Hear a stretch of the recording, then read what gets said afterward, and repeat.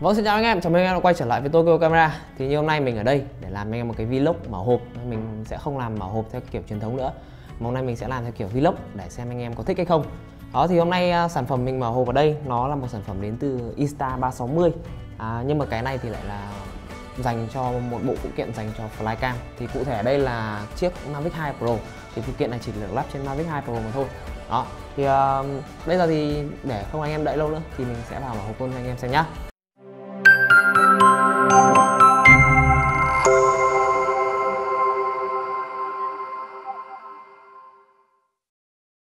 Đây rồi. Như bên cạnh mình đây thì như anh em thấy. Đây mình sẽ để cam mình ở đây. Đó anh em thấy không?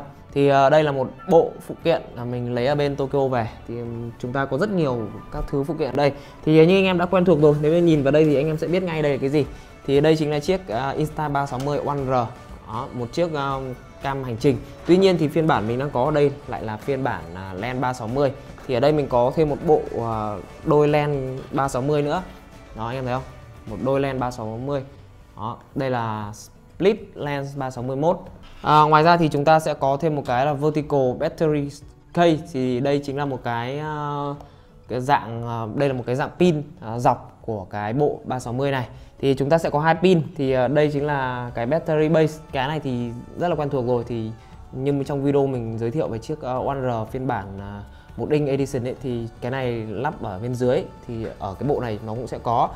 Ngoài ra thì chúng ta sẽ có một cái phụ kiện là cái mounting bracket thì đây chính là cái ốp của cái bộ ờ, 360 này thôi. Đó, của cái Insta 360 đó cái này thì khá là quen thuộc với anh em rồi mình sẽ không đề cập đến cái này nhiều. Tuy nhiên thì đặc biệt của chúng ta ở đây đó, em thấy không? Một cái hộp rất là to. Đấy, cái hộp này to nhất trong tất cả các loại hộp.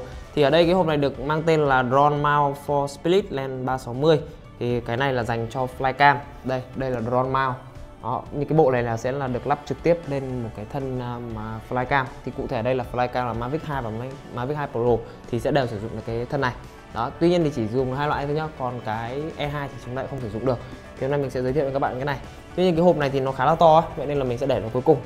Đó thì cái hộp này nó có một vài thông số. Thì thứ nhất là chúng ta sẽ tàng hình được cái drone có nghĩa là cái invisible drone này là không thấy cái cánh quạt của drone. Khi mà các bạn lắp 360 mà thì nó bao trùm hết ấy. thì tuy nhiên thì cái này nó xóa được cả cái cánh quạt luôn. Cái này là cái bảo vệ mounting frame thì có nghĩa là trong cái hộp này nó có hai cái kính bảo vệ hai cái bộ phận cảm biến chính của chúng ta ở trên và dưới. À, uh, complete with Mavic 2 thì cái này là sử dụng được với Mavic 2 Ok thì bây giờ chúng mình sẽ đi vào mở từng thứ một nhá. Uh, đầu tiên thì chúng ta sẽ đến với phần à, uh, co trước đi. Trong hộp của những cái co này thì uh, nó có một cái giấy uh, hướng dẫn sử dụng là sử dụng những cái gì mà thôi. Đó. Còn đây chính là cái co. Đó, cái co này.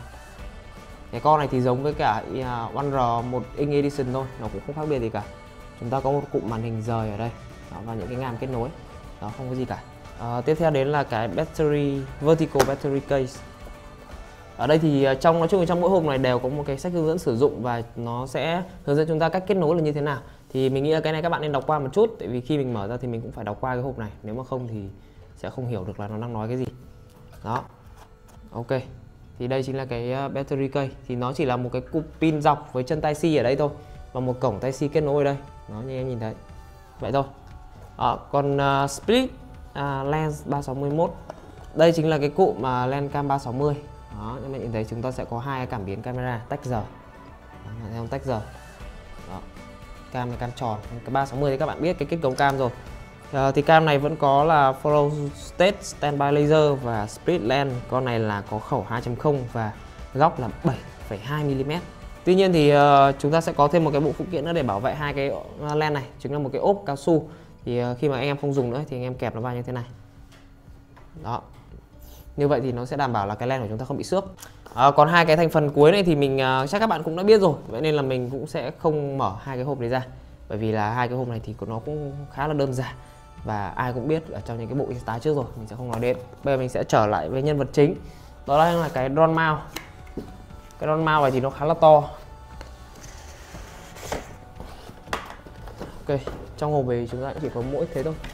Và một quyển sách hướng dẫn sử dụng thì khi mà chúng ta mở hộp ra thì chúng ta sẽ có hai cái khay hai cái ngăn.